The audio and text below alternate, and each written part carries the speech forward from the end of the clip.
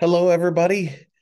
Uh, Curtis Wudtke, principal at St. John's Lutheran School, here to share with you information about our Soaring to New Heights campaign and where we're at. So I'm glad you're here. Glad you're watching this video.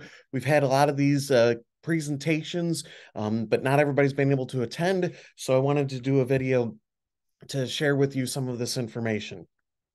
Our mission at St. John's is that we're empowered by the Holy Spirit. We promote academic excellence, make disciples, and equip them for service. And this mission statement really does guide our decisions and our planning. So why are we here today? With why am I making this video? Because I want to share with you some important things that are happening at St. John's. I want to take a look at our need and, the, the things that are currently happening, talk about some solutions that we've planned. Um, and uh, normally in these gatherings, I would answer questions, but you can always contact me and I'll give you that information at the end um, and uh, ask you to uh, partner with us to accomplish our goals. So the need is really all about space. Uh, we are simply out of space here at St. John's. Um, we are currently using First Presbyterian, uh, and we our fifth grade is there. We're also using classrooms that were never intended to be classrooms. They're just too small um, to do to have the best learning environment for our students. Um, we are using every nook and cranny that we have. And so we're using a lot of the church spaces that we want to be able to give back uh, to the church. Um, we continue to double classes. Six years ago, we started with doubling kindergarten. And now we're all the way up through fifth grade. Next year, we'll have a double sixth grade. And in order to accommodate space for that, we're actually moving fourth grade over to First Presbyterian as well. So fourth and fifth grade will be at First Presbyterian next year. And then we are committed to adding the high school grades. Um, so we've been blessed with this tremendous growth, and we think we're going to continue to grow, but that's created this need for space. First Presbyterian has been great. It's been a, a temporary solution, but we know it's not the long term answer. We value their partnership, um, but we know we've got to do something else. Um, in addition to all of those extra classrooms that we need, um, there are some specialized areas that, that we don't have right now. We don't have an art room. That happens in our fellowship hall uh, for lots of our classes or in the classroom space. Um, and the music room that we're using is really a church uh, space, and it's just too small to do what we want to do in terms of, of music classes. Uh, we actually end up tutoring in the hallway a lot of times because we don't have that space um, for tutoring.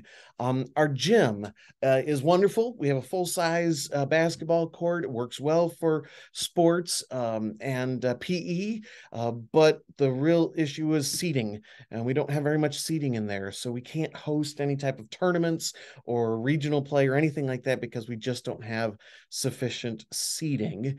Um, and then our library, we have two libraries, one in the church building, one in the school building. But again, those are in small spaces. The one in the school building is actually in a hallway. Um, we're making it work, uh, but it's less than ideal. So knowing this need, um, and, and, this isn't anything new, we've, we've known this is coming. Um, about two years ago, there was a growth committee that was developed and uh, launched to look at this need and to evaluate different options. And, and they came up with the, the, the, the, the recommendation that we should build a new building, not add on to one of our existing buildings. And we should do it though right here on our campus. Um, and so there was a a, a um, design that was developed by an art- architect even and it was released a little over a year ago um, it had 50000 square feet um, and it was designed for about $300 a square foot that was a $15 million project and it just really wasn't uh, feasible and realistic. And so that growth committee last summer, almost a year ago, uh, kind of said, okay, we're done with our part. Uh, and then our church split that growth committee. And so that we developed a building committee to look at what can we build, what is feasible, um, and a campaign committee that, that had the job of saying, okay, how are we going to raise the funds to do this. And so those committees have been working. The building committee took our need what what it is that we really need and there's some things we'd like to have but what is it that we really need? Um, and started making that list and and talking through all of that and making sketchings and drawings and different things and we ended up uh, with a with a sketch of a potential building that um, we then took i took to a, uh, an architect that i've worked with before and he made up this uh, this drawing. And so the uh, design for this building um, was to the idea was to have fourth through eighth grade. The building overall will hold grades four through 12 but uh, fourth through eighth grade is over on this side fourth, fifth grade, sixth, seventh, and eighth, uh, two classrooms for each grade level, um, some junior high locker rooms, bathrooms, different things. So that was all over on this side. Then the other side would be the high school. And so you have high school locker rooms, a number of high school classrooms. And this was designed specifically so that we could add on very easily by extending this hallway. We could add on more classrooms over in this area. And this actually storage room right here could also be an extended hallway where we could actually add on some additional classrooms up there as well. We could add on nine classrooms in a second phase very feasibly. Um, in the middle was the shared spaces. And so we had a commons area. There's not a full kitchen in this um, building, but we have a wonderful kitchen in our school building, so we'll have to move food um, to this. But that's where we would we would eat lunch. Um, a full size gymnasium with the seven rows of bleachers on each side give us space for about uh, 450 people, um, a music band room, an art classroom, uh, and those would be used by both the high school and the four through eight, and then some office area here as well. So that's what the original plan that we came up with. We sent this out to bid. And so uh, we sent it to a couple different builders. Our goal was to keep it under $200 a square foot some of the builders thought we were kind of crazy with that figure, but that was really our goal. And so we got some bids back and we selected to go with Drake Homes. Um, and I'm not going to play this full uh, video. Whoops, I went the wrong way.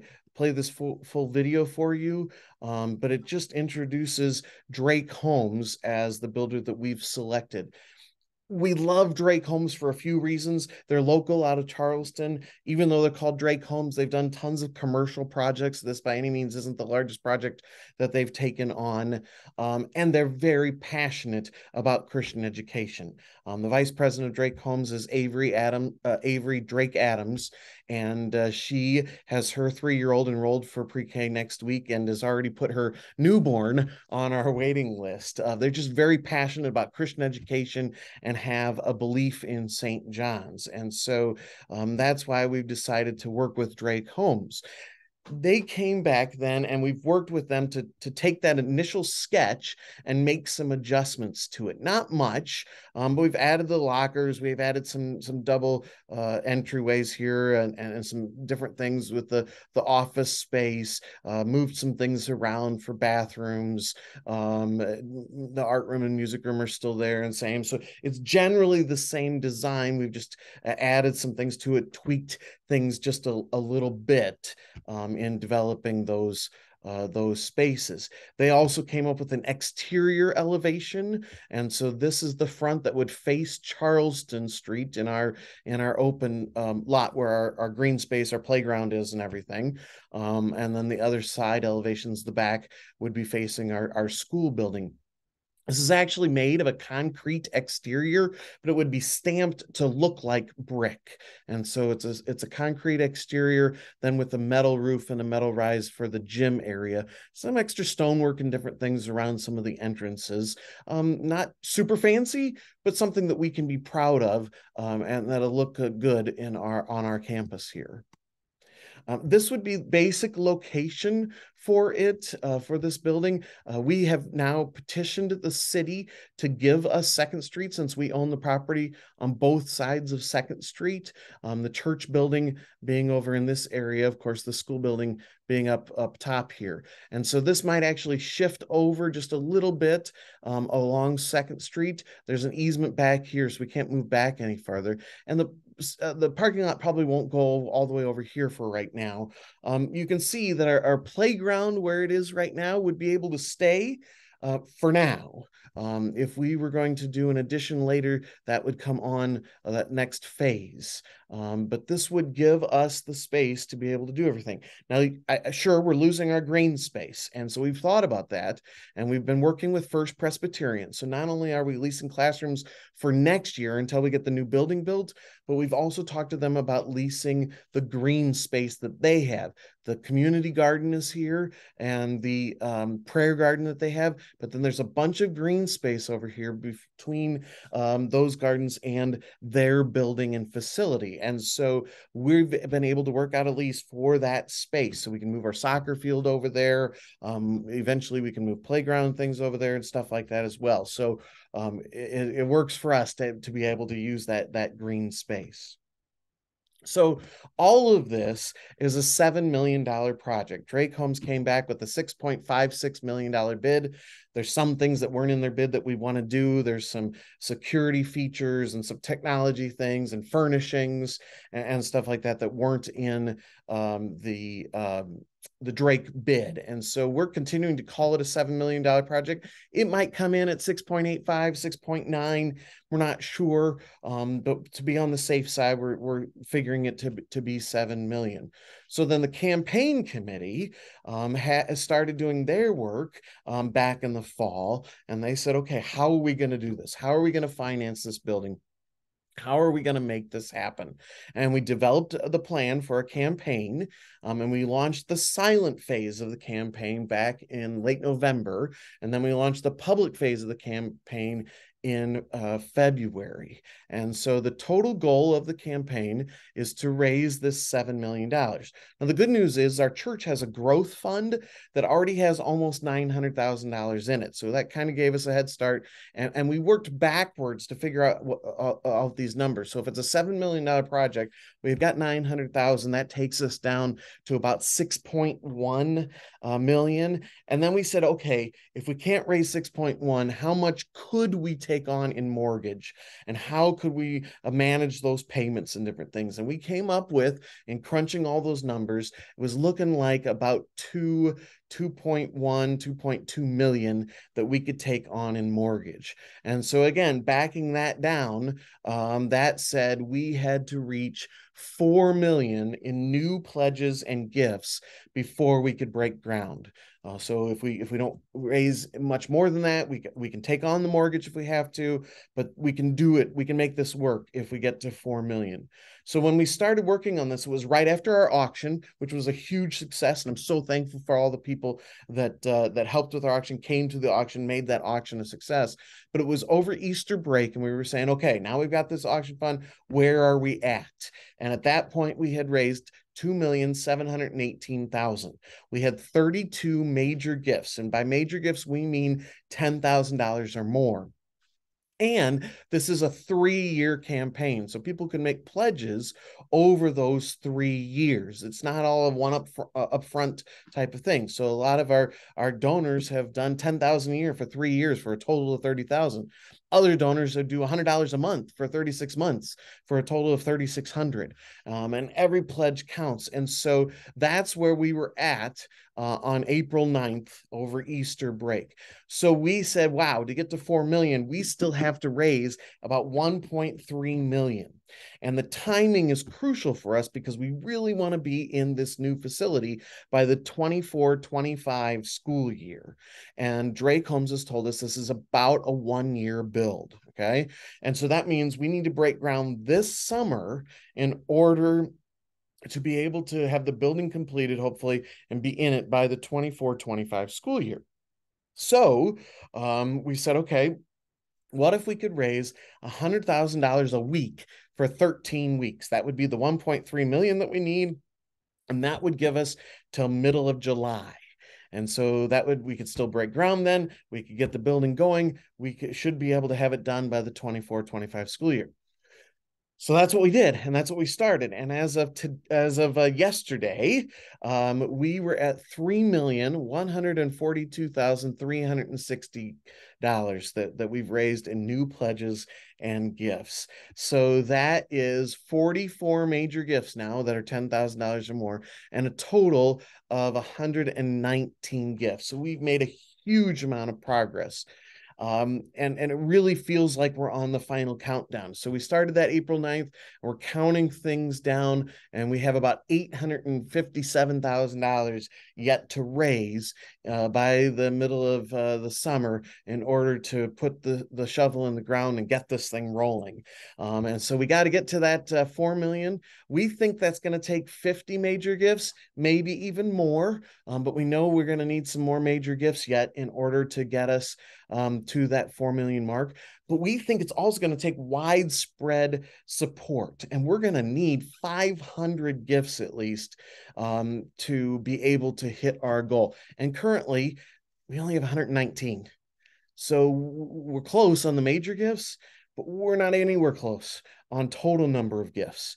And, we really think we're going to have to get to that 500 mark in order to make this happen. And so that's what we're doing right now. We've had a whole bunch of these campaign gatherings and, and, we're launching a crowdfunding effort. We're doing all kinds of different things because we want to increase that broad support for this project.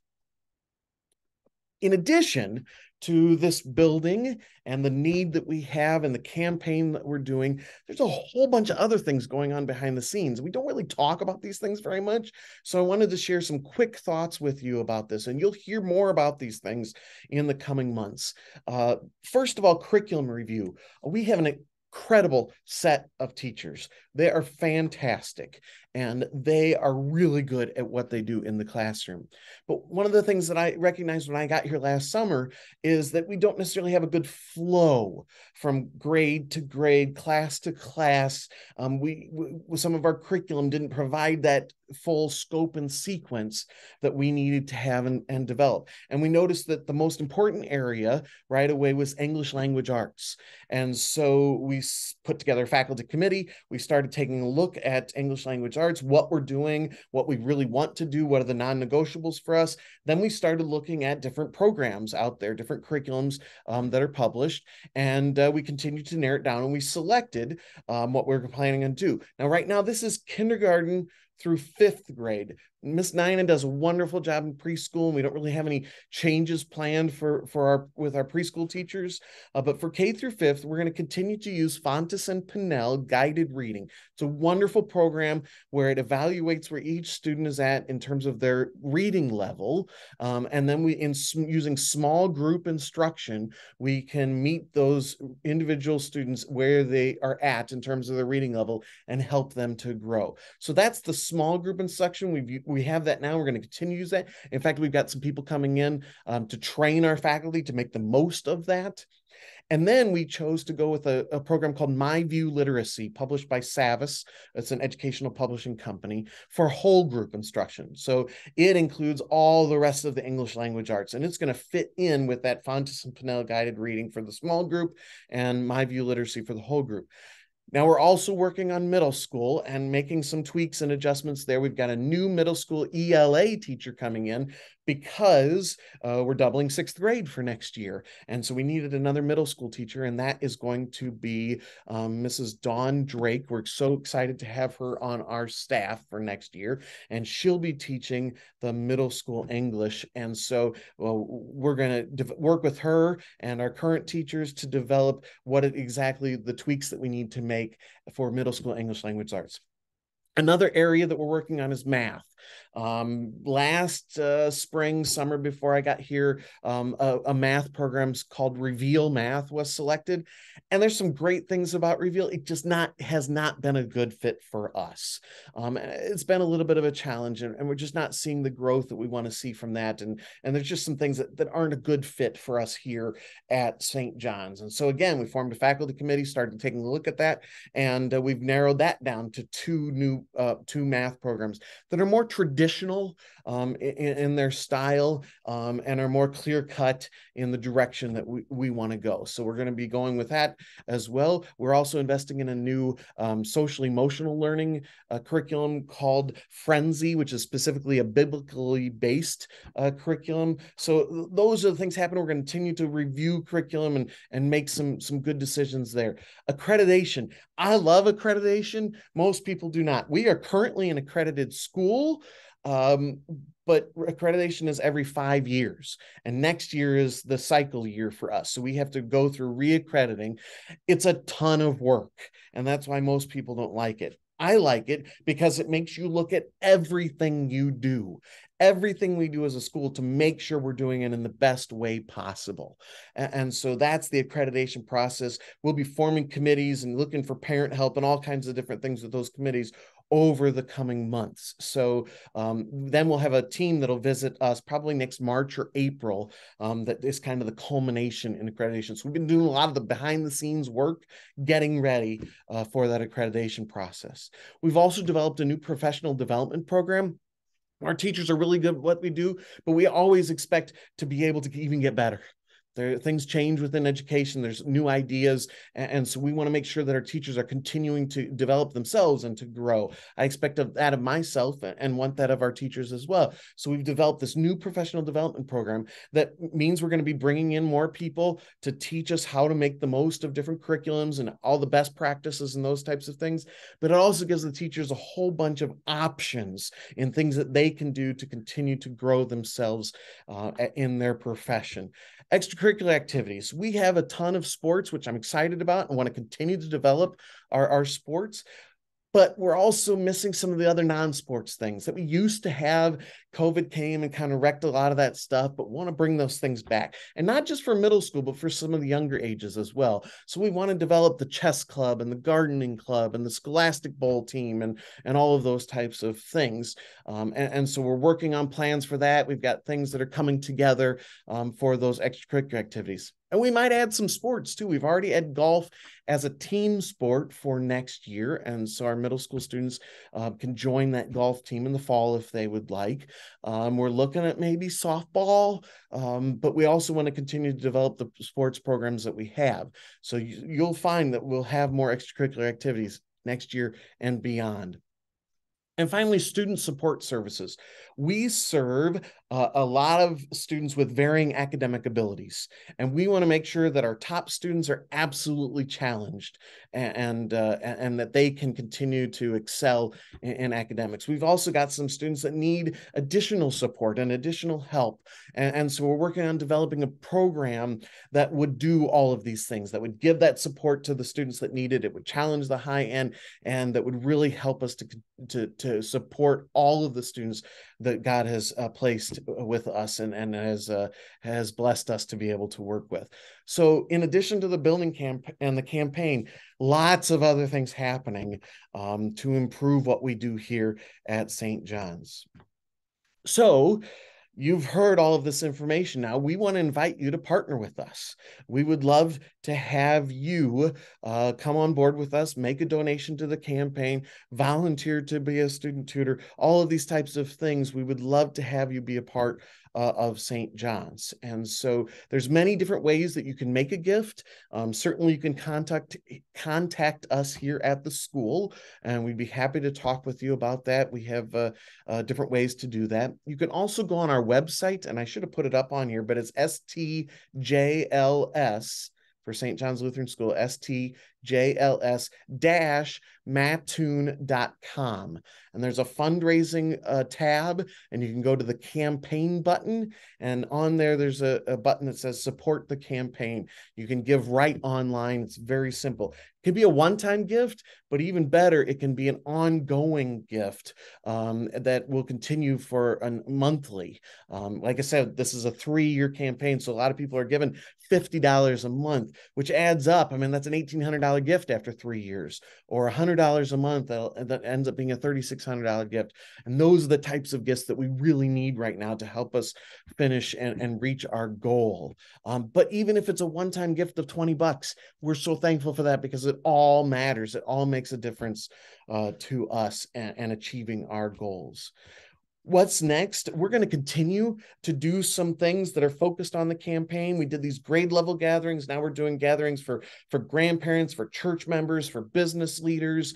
Um, we had a phone-a-thon we're going to have more of those. We're going to have a crowdfunding campaign. So there's going to be a whole bunch of different ways that you're able uh, to uh, to to get more people to come with us and partner with us uh, to accomplish our goals. Um, so that's happening summer's coming quick and uh, we want to be able to break ground yet this summer and, and so that's what it's all about so appreciate you watching this video i, I just wanted to make sure that i uh, shared with you uh, the things that are happening here at um, at St. John's. And so thank you so much. Please don't hesitate to call us uh, or email us if you have any questions. Um, my uh, our school number is 217 234 4911. Again, that's 217 234 4911. Um, and uh, you can reach me here uh, email wise at C Wudtke. Uh, Wudtke is W U D T K E at stjls-mattoon.com. Okay, so see Wudtke at stjls-mattoon.com. Stop by our office. We're more than happy to talk with you and share with you, answer any of your questions. So that's all I have for today. Uh, thank you so much, and I hope you have a great day, and uh, we will see you soon.